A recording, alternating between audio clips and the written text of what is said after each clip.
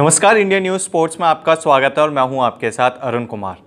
Royal challenger Bangalore और Kolkata night Riders के बीच कोलकाता के ईडन गार्डन में खेले जा रहे मुकाबले में रॉयल चैलेंजर बैंगलोर ने कप्तान विराट कोहली के शानदार शतकीय पारी के बदौलत 20 ओवर में चार विकेट के नुकसान पर 213 रन बना लिए। चलिए इस मुकाबले पर हम नज़र डालते हैं और बात करेंगे इस मुकाबले की तो विराट कोहली और पार्थिक पटेल ने आज के मुकाबले में ओपनिंग करी। हालाँकि रॉयल चैलेंजर बैंगलोर के लिए ये ओपनिंग कुछ ज़्यादा खास नहीं रही और पार्थिक पटेल को 18 रनों के अंदर अपना पहला विकेट गंवाना पड़ा। इस दौरान पार्थिक पटेल के बल्ले से 11 रन निकले। इसके बाद मैदान पर आए अक्षदीप नाथ, जो कि आज विराट कोहली ने थोड़ा बैटिंग ऑर्डर में चेंजेस करे और जिस हिसाब से, जिसकी वजह से अक्षदीप नाथ आज वन डाउन पर आए हालाँकि अक्षदीप नाथ भी कुछ ज़्यादा स्कोर नहीं कर पाए और आरसीबी को उनसठ रनों पर अपना दूसरा विकेट गंवाना पड़ा। लेकिन इसके बाद आए विराट कोहली ने जो आज अच्छा एक्सपेरिमेंट करा और आज के मुकाबले में जो कहेंगे कि खास बात यह रही थी कि ए बी डिविलियर्स इस मुकाबले में नहीं थे। लेकिन इसके बावजूद जो आज आरसीबी की बल्लेबाजी देखी गई, वो बहुत शानदार रही। और इसका जो दूसरा कारण ये भी था कि विराट कोहली को मोइन अली के रूप में एक अच्छा पार्टनर मिला।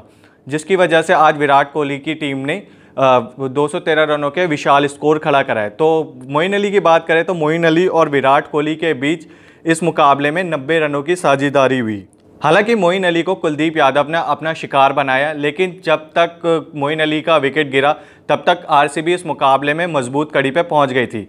वहीं इसके बाद आए मार्कस टॉइनिस मार्कस टॉइनिस इस मुकाबले में सत्रह रन बनाए और नाबाद रहे, और उन्होंने अंतिम क्षणों में विराट कोहली के साथ मिलकर के के आर के गेंदबाजों की जमकर धुनाई करी।